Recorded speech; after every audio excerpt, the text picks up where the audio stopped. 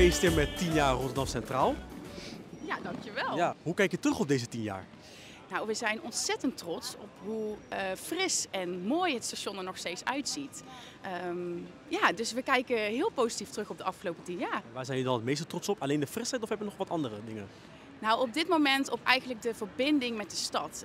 alle evenementen die hier op het station plaatsvinden um, en die hier beginnen eigenlijk op het station. En mis je de oude station niet stiekem? Zijn er nog dingen die je terug had willen zien van het oude station? Uh, nou, ik niet. Maar als ik uh, hè, over het station heen loop en ik heb gesprekken met huurders, dan hebben zij het er wel eens over dat zij hè, die contacten met elkaar wel eens missen. Dus dat is voor mij ook echt een doel dit komende jaar, om die verbinding tussen die huurders en die bewoners op het station, om die uh, verder uh, ja, uit te bouwen en dat beter te maken. We zijn afgelopen twee weken met het hele team, want we hebben 2.500 cakes gemaakt, dus ja, dat zijn er best wel wat. Ja. dus we zijn lekker met z'n allen er aan bezig geweest. Alle jongeren hebben geholpen, dus ja, goed samenwerkingsproces. Ja. Wat maakt jouw band met Centraal Station zo speciaal?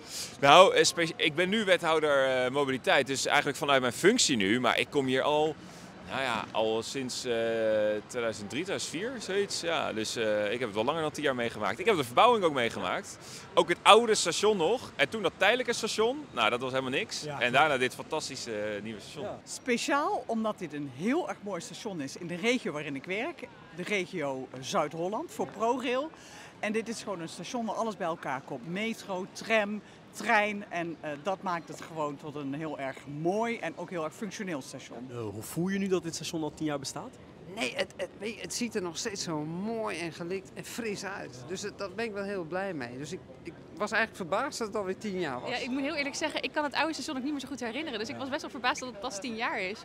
Maar uh, leuk ook wel om te zien dat mensen echt speciaal voor vandaag ook hier naartoe komen om het met ons te vieren. Dus dat is wel superleuk. Ja, het is al een icoon van Rotterdam geworden. Hè? Dus Rotterdam heeft een aantal iconen. We voegen er steeds meer toe.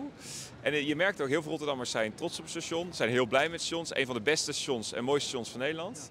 Ja, en dit staat toch in hartje, hartje Rotterdam. Wat vind jij het mooiste aan het station? Als je buiten staat en je kijkt naar de gevel en dat uh, mooie dak en dat mooie licht, die ramen, dat maakt het gewoon heel bijzonder.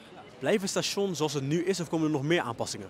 Um, nee, ja, voor dit moment. Ik hoop heel erg dat we de prachtige banieren in de stationshal en de kolommen in de passage, dat we dat zo kunnen houden. Want die kleurtjes, ja, die geven wat mij betreft wel echt die extra finishing touch.